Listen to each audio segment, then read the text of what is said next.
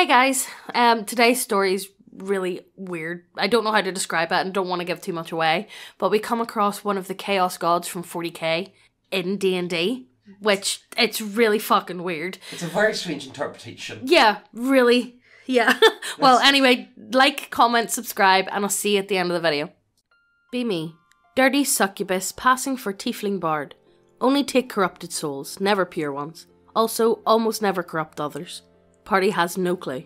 Be not me. DM, cook, and longtime friend. Now also roommate. Usually stalks the comments, replying by stealing my phone and commenting. Trying to make her make an account. Won't do so out of principle. Paladin, cute cat loving person. Never seen her slash his face. Transsexual. No clue which direction though. Misk internet team members. Edgy boys, weirdos, and a kid I think 15 ish. Very nice guy. Dad sitting in the background laughing his ass off every time something funny happens. Party healer and paladin went down in a blaze of glory, taking 200 plus monsters, and even the big bad evil guy with her in the process. After the heartbreaking realization that we permanently lost our paladin, DM says, A light so pure it can only be made by higher beings appears in front of you all. The god Aiel passes through the light, carrying it with her. I ask, So this is not an avatar of Aiel? To which the DM says, This is the god Aiel, no avatar or illusions. Standing in front of you is a being of pure good, pure intentions, and pure emotions. You are currently looking at a god. What do you do? Oh fuck. .jpg. I read through my backstory and especially my quirks. I start burning when in areas which are touched by a god with good alignment. Shit. Ass. If Source is strong enough, I drop all illusion spells and disguises. Source is an actual god. You can't possibly get stronger than that. Remind DM to look up my quirks. Eyes widen.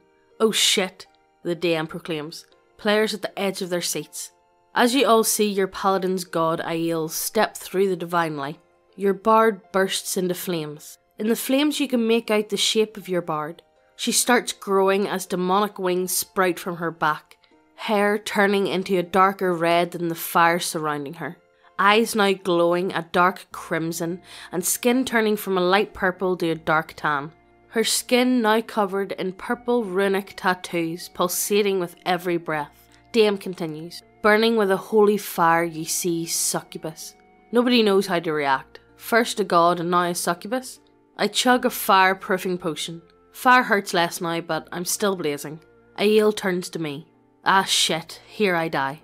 Aiel steps forward to me. Time to make my great escape. Cast invisible.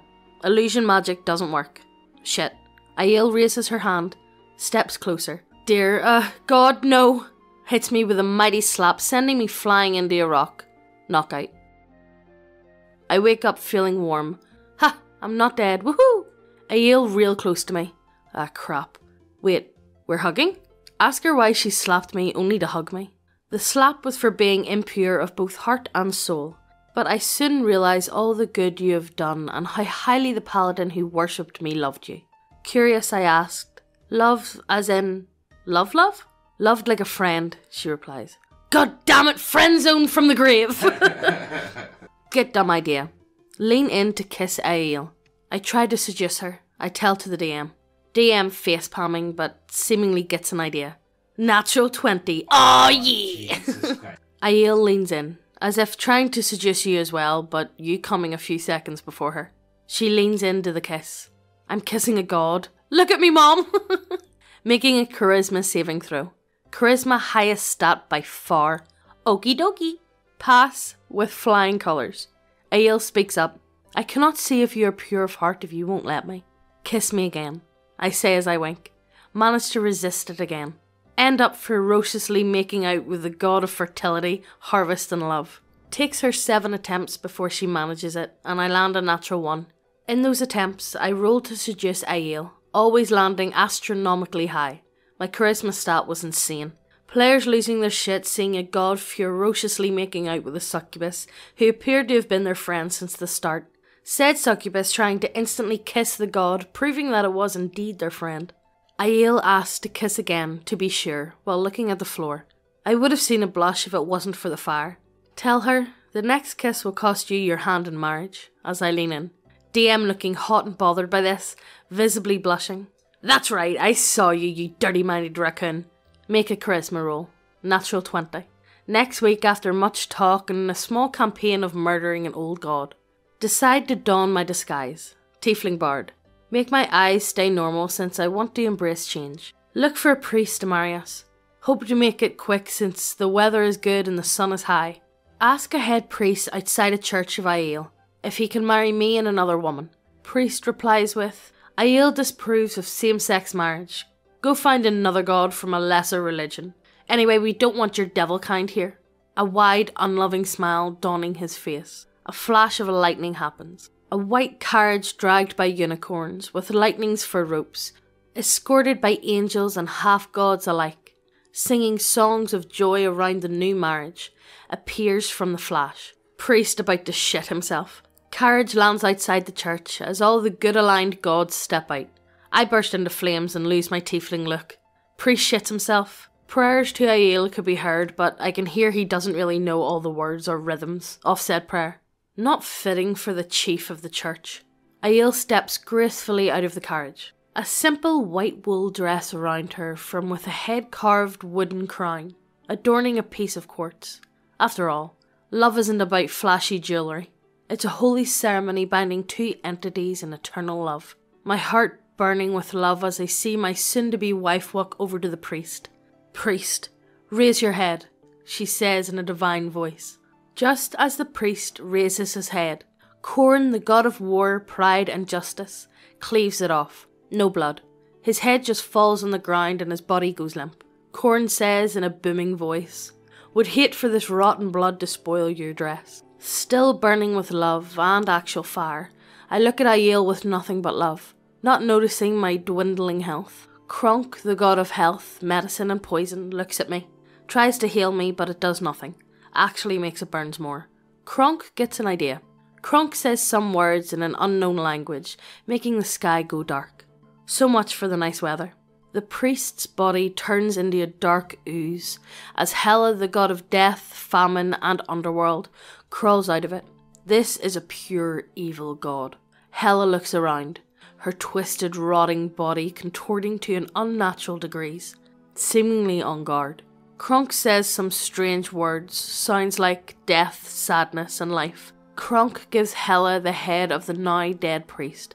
Hela takes one look at Aiel, bows, and turns into a beautiful young woman wearing a black dress adorned with real skulls from all races.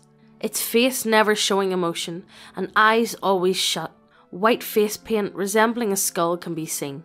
Hela starts healing me using impure souls from the underworld, the souls I've helped collect. I tell Aiel I don't have any clothes nice enough to use. Just as I say that, a cloth appears out of nothing, covering me in a traditional wedding dress. I ask, I love the dress, but it's not really me, is it? Aiel looks to Khorne and says something similar to what a harp sounds like if it had a voice. Khorne, visibly uncomfortable, whispers something. A crack opens in the air as moans of pleasure spill out. Slaanesh, the god of pleasure, lust, and corruption, steps out.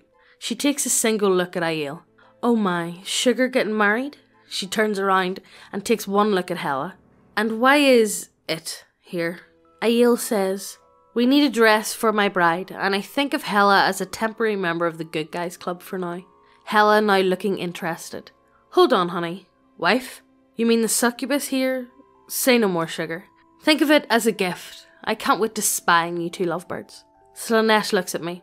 Hey, hot stuff. I have no idea how you managed to romance Aiel, but she needs a good fucking. Preferably without ripping her soul from her body. This is my gift for you. Have fun in bed now. Make many children, she says while making her long black leather clad fingers into a heart. DM says, You no longer feel connected to Slaanesh and no longer have any cravings for souls. I ask DM if I'm still burning. Yep, still burning. Slaanesh looks at Aiel and says, as for the first gift I hinted at, I'll need some time to prepare. Oh, who am I kidding? I've shipped you two for years. I have the perfect dress. While licking her lips, she opens another portal filled with lust. Be quick now, darling, if you want it. You need to catch it, Slaanesh says while looking at me. She pulls out a black and red dress that looks alive and hungry. Dear Aiel, it's coming at me. What the fuck is this? I don't know. Why is Slaanesh here? It's D&D. it's not 40k. I start running. Slaanesh laughs a hearty laugh. Teammates look at this go down. Edgy Boy using his chance of distraction to assassinate Khorne. Ended up with a broken dagger and a missing jaw. Party cook getting recipes from Kronk, who is a total dad with recipes, paying no attention to the dress trying to eat me. Dress catches up, putting itself on, literally eats my current clothes. RIP magical gear worth over 160,000 gold. Now dressed in a black wedding dress trimmed with red. The black in the dress shimmering with pink waves. Feels weird, but good. Dress tooless. Ask Slaanesh if she has another one. Secretly just want my old rags back. And for the dress, less tonguey. Slaanesh finishes up making one of my party members dream sweet dreams of his dead wife. Oh, honey, you're as thin as a stick. Why am I there thin as a stick? The big discrimination really sassy. Like this. Slaanesh is like I'm imagining her as um like a a southern belle. Yeah. Oh, honey. Uh, Oh, sugar. yeah, that's what I've kind of gone. Oh, honey. Oh, honey, I can't. Can't. Oh, honey, you're as thin as a stick. You really need to eat more, you know. I'll make Kronk cook up a mighty feast for your wedding day. But how do we fix the dress? Sort of dodging the question here, I reply. Oh, sugar, I'll show you how it works. I made it especially for you to wear every day, especially since it's stuck to you now. She sort of glances over that last part. Slaanesh whispers some words to me and shows me how to make it shrink slash expand. Sugar, you're a natural. It has many interesting features. Notice how you're no longer on fire? 100% fire resistant. It even hardens when subjected to physical attacks and reflects most magic ones. Be careful though, after it has reflected either one, it needs to recharge. Takes about 10 seconds. Previous armor made me resistant to cold. Shit compared to this. Holy crap, thanks. This is the best day ever. Don't mention it, sugar. Oh my god. Why the fuck That's the way I'm is envisioning this really- in my head. it's a really weird interpretation of Slaanesh. I'm Really weird. This is, this is new to me anyway. Don't mention it, sugar. It even has some out of combat abilities, like color changing, fabric changing, and underwear has a vibrator. At this point, Aiel elbows her in the side. I look around. A lot of holy deities have arrived. Townsfolk is gathering, confused. Our rogue's jaw is missing. Times are good. The wedding happens, and Aiel cooperates with Hela to make the party paladin appear, although ghostly, but it is really her. Paladin marries us, although with no formal training. I think it's alright if the god herself says it's fine. Everyone cheering. Gods all around joining the party to see the strange couple. Slaanesh effectively becoming the aunt in this weird family. Hela being the strange far off member everyone knows but nobody sees. Kronk being the cool uncle that knows neat stuff and cooks great food. Party royally confused. Kid's father laughing his freaking ass off. End up getting 53 children. Slaanesh teaching Aiel the secret word for rattling my fillings from downstairs. Oh god. oh Jesus Christ? Kronk helping raise the 53 children. Khorne raising the D&D equivalent of Hercules, a character that reappears in a later campaign. Hela being creepy but a good babysitter. Who else to protect dear family members than death itself? We live happily ever after. Campaign ends. Anyway, that's how Greece's gods work. It actually is. It is, It actually is pretty bang on for Greek god, Greek mythology. Yeah, it is. That's actually pretty good. That's pretty good. I like that. But that's not Slaanesh. I know that was a really weird interpretation of Slaanesh. I have to say that was definitely. Most I've never heard of somebody talking about Slaanesh like I know. that. I. I, I really buy into the idea of Slaanesh being like a weird deity. Like, for instance, like I, I think of like Cenobites almost. You know, like Hellraiser, that type of thing. Yeah. I always like to think of maybe like the voice of Slaanesh as being like disembodied. Yeah. You know what I mean? Like, for instance, like maybe the mouth is stitched up or something like that, and the voice just reverberates around. Yeah. But it you don't exactly know where it's coming Yeah, from. Yeah, she's not talking like a Yeah. Southern Belle. Yeah, she definitely Okay, doesn't. Okay, sugar. That's not my No, Slaanesh that's- anyway. that's not, not my Slaanesh. Not whenever I think of Slaanesh anyway. It's a bit of a. What would be the right word for that? I don't know. Oh fuck, I don't know. I it's don't just even fucking know what the fuck you would call that one. It's dead unusual. Definitely an interesting interpretation Interpretation on of it. I'll give it that. Like, you know, okay. yeah, it's something.